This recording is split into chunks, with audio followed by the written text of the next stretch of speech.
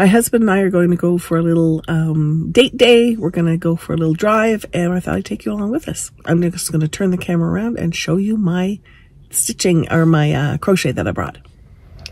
You're familiar with it by now if you've been watching my Flossmas, but this is how far I have gotten since the last time I showed this piece, so I'm doing really well. I love this turquoise, turquoise and the blues.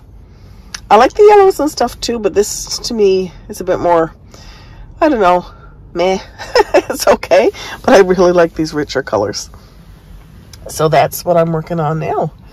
Um, and I'll be working on for our drive. We're going to go maybe go out to a restaurant and then we are going to go for a walk with the dogs along a boardwalk is the plan. As long as weather, dogs, and vehicle and everything cooperate. So we'll chat with you soon.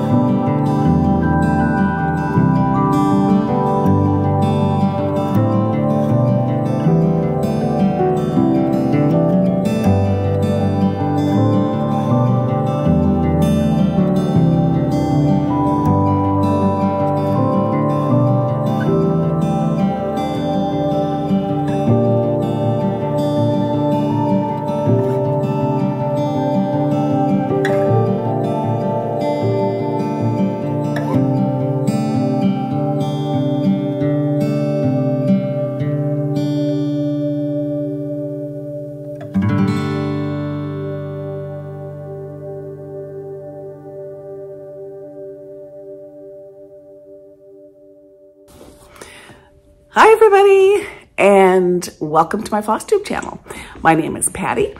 I am coming to you from the extreme east coast of Canada on the island of Newfoundland in the province of Newfoundland and Labrador at almost the most easterly point in North America. I wanted to say hi I have, you can't see her, but I have a um, one-year-old border collie named Freya. She's our new dog. And uh, she's decided that to play. Because if I'm here and I'm not working, then I should be playing. And uh, so she keeps, I don't know if she's going to hit the tripod or not. So I apologize if there's a little bit of an earthquake. She's trying to desperately to uh, throw a toy at me and get me to throw it for her, which I don't usually do in the house because it's a bit dangerous uh, in terms of me beating something up. anyway, um, welcome. Um, I am a multi-craftual person. I uh, do a lot of, mainly, well not mainly, I do a lot of different things. Right now I'm focusing on cross stitch and some crochet, which I'll show both of which today. Um, and as you can see, we're kind of at the process of switching over from Christmas decorations over to winter decorations. I think I'm going to leave these fairy lights up and I'll, I might show you how I'm going to change that up um, over the next few weeks. And Frey, she's just sitting there staring at me like, please, please. If she could will me, if she could control my mind, I would now be throwing things for her. So I am still recovering from a cough. Um, I am getting better though. So it turns out that it's uh, viral and not, um, I don't require antibiotics for it, which is great. Time will heal. And uh, yeah, so I'm going to put, if I haven't already, um, I will be or have put some video in of a walk that we took over the weekend. Um, my husband and I took a date day and we went out to an area about an hour and a half away from where we live um, in a place called Western Bay uh, in Newfoundland. And we decided that we would um, go for a hike, bring the dogs, go for a little hike, explore the area a little bit. So that was fun. Uh, kind of an overcast day, but this, it was a beautiful hike. Um, yeah, trying to think what uh, updates since Flossmas. Uh, dyeing some fabric for Brenna Needle. Stitch North is coming. Uh, excited about that. And if you don't know what Stitch North is, it's a cross stitch conference, the Canadian cross stitch conference put off by Caroline at Off the Grid Needle Arts and Evertote. And uh, the other thing that's coming is I had ordered from Heather um, Evertote um, took over the Hearthside Craftworks uh, cross-stitch stand business. I'm going to get the words out. Now I have a cat who's going to rub against the tripod. Um, anyway, I had, uh, I have a Hearthside Craftworks lap frame that I had ordered a few years ago and use, um, but I'm getting a Mach 2 stand, floor stand, and it should be here over the next week, two weeks or so. Uh, always nebulous in terms of how the mail service is going to go between Canada Post routine here in Ontario. But I'm really, really looking forward to that. So I'll make sure I do an unboxing video and such when that comes. Right now, I'm going to show you a little bit of cross stitch and a little bit of crochet. I have decided, I don't know what I've decided. I've, I've made all kinds of plans for 2023 in terms of projects. Um, I want to get more designs put out. I want to get um, more, I want to get a lot of my, I have a lot, a lot. Like when I say a lot, I'm talking probably 50 WIPs um, which freaks me out a little bit. But what I've noticed about some of the lovely floss tube channels I've been watching is that there's some people that are really good about getting things finished. And at the end of the year, they have finished projects. And I want to have more finished projects. And I think the, the only way of doing that is for me to be a more monogamous stitcher. So right now, we're going to say that I'm going to be half monogamous. I never thought you'd hear me say the word monogamous and cross stitch in the same sentence. I think half monogamous and half new start. But right now I've really been, oh, Angel the cat is just pressing and pressing against this lovely tripod that I put here for her to scratch herself on. Um, I am continuing to work on, as I have been, uh, over Flossmas and such, on the Miss Margaret Ann Rollo chart. So this is available through Evertote. It is designed by Just Stitching Along. It's a beautiful, beautiful chart. And I am, instead of putting Margaret Ann Rollo here, I'm putting Merry Merry Christmas. There's an option to do that with the chart. And I also plan I'm using the same colors to do those two ornaments, the pillow and the ornament as well is my also. So when I have this finished, I like I consider these two pieces as part of this finish.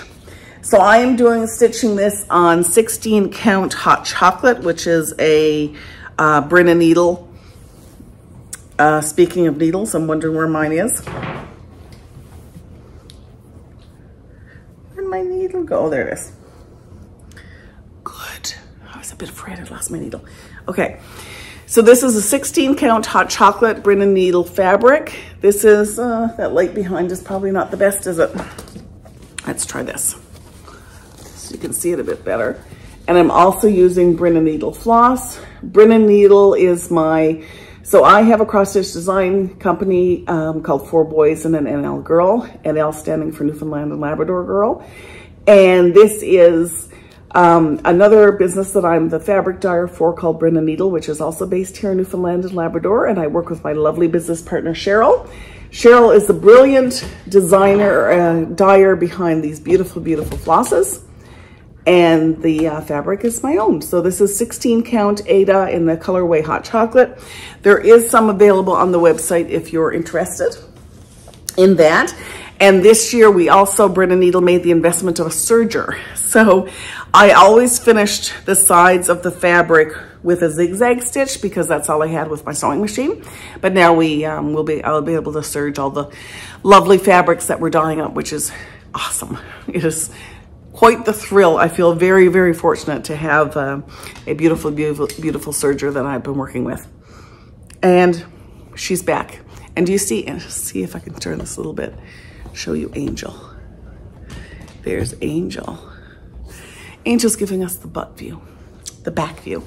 So next I'm gonna move to my crocheting project. Um, again, this is one I've been working uh, on through Flossmas and into now January. Um, I had to, it's gotten a bit bigger, so I've had to move it to, this is a lovely, lovely bag that one of my Knitwit friends made for us in our advent calendar this year. It's a little bit bigger. Sorry, a little bit of a coughing fit there. Anyway, it's a little bit bigger than the one that I was using by Amelia.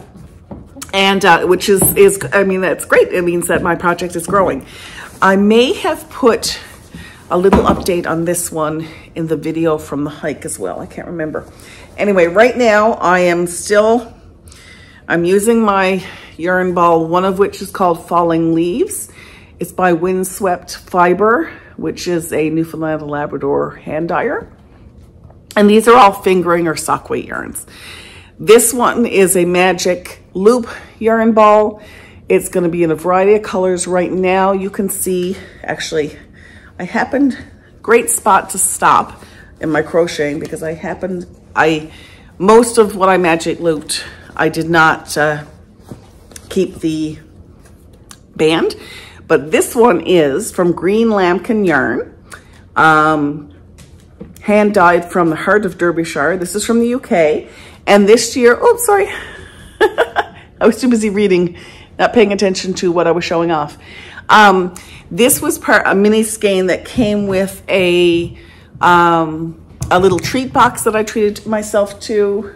Now, I've just realized that she may be chewing on thread. Oops way.